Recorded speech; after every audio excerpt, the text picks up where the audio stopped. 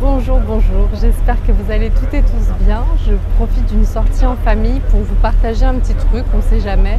Euh, donc il s'agit d'un bateau qui s'appelle Las Golondrinas.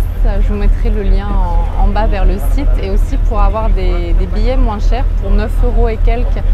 Pour un adulte, vous allez faire un tour de 60 minutes en bateau dans le port de Barcelone et puis aussi jusqu'à la plage de la Barceloneta et ça peut être toujours sympa, surtout par euh, ces fortes chaleurs, si vous avez envie de faire quelque chose qui change un petit peu.